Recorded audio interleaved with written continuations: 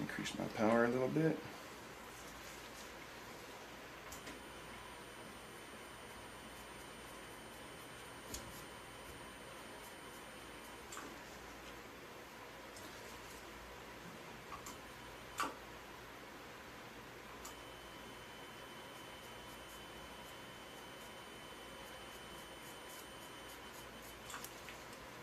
We're flattening it out. That pigment goes pretty deep. I'm going to see if I can get some of it out of there.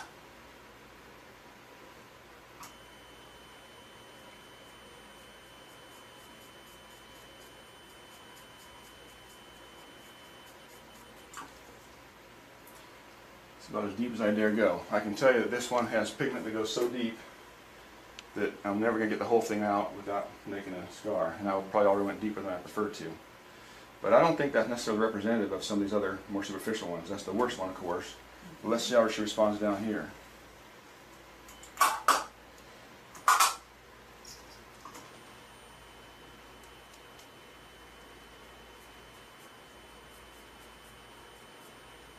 That's more what I was expecting. Where it just goes right away. Mm-hmm. Beautiful. Don't do anything other than your loud feet on that clipper.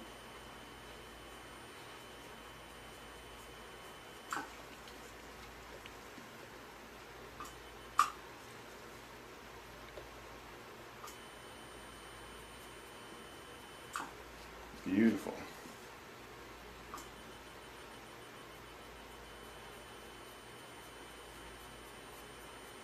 That one was just a skin tag. It's gone.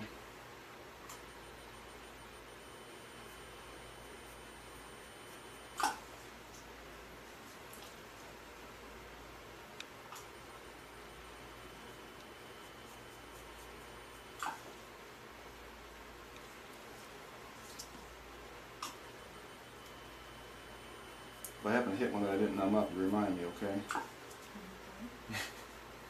you might notice, that, I might not.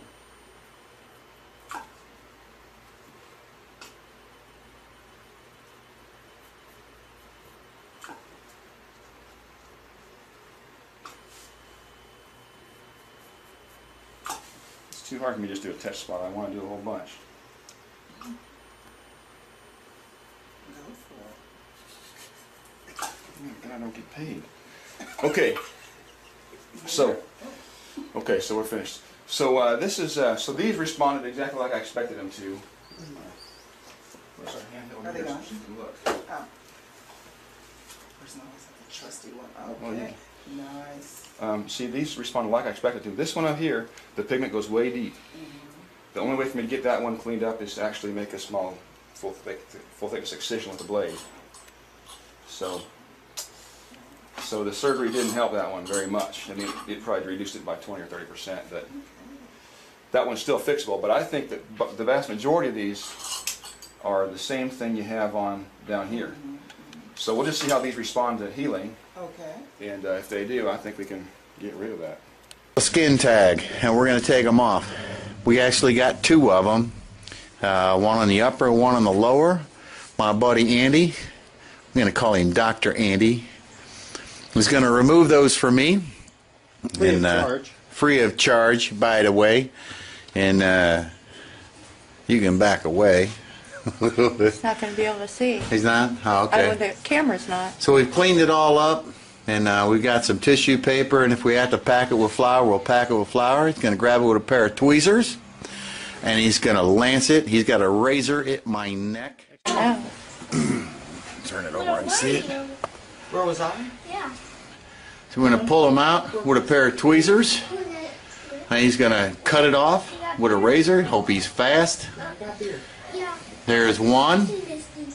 Oh my God, the vampire's are gonna love me. And he's gonna pull two.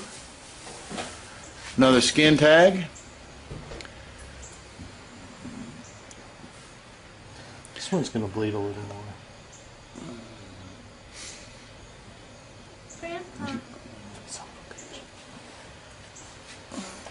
It's substandard surgery here.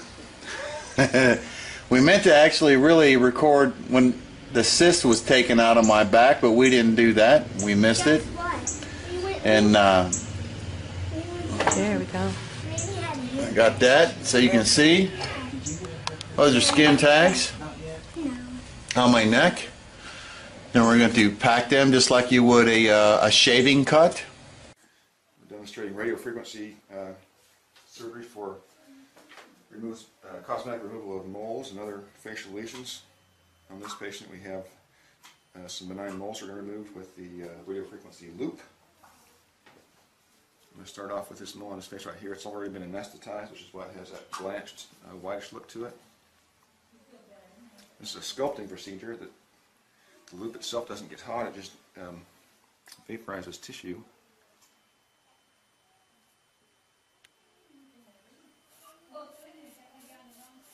Allow me to sculpt the lesion right down.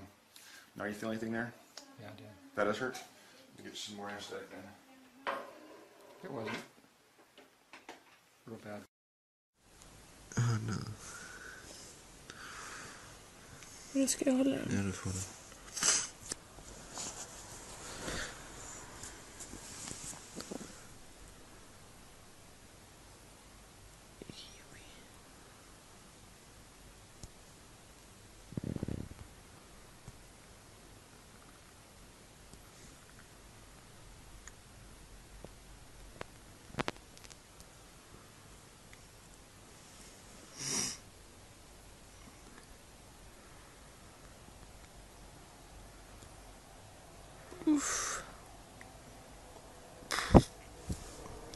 Nasty.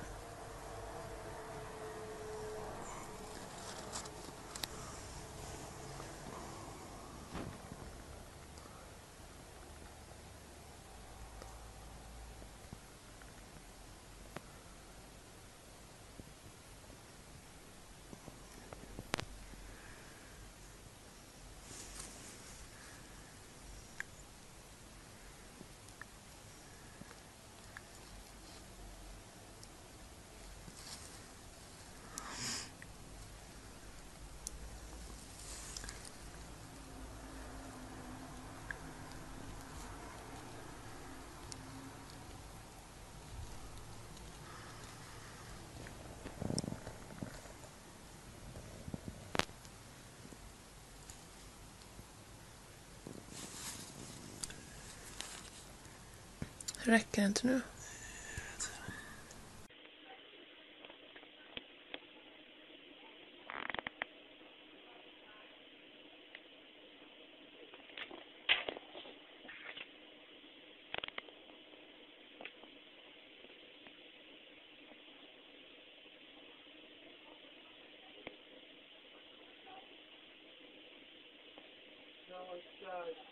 Yeah. Why is this so serious? Oh my god.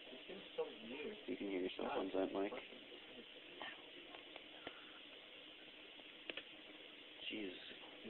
Come on. Come on.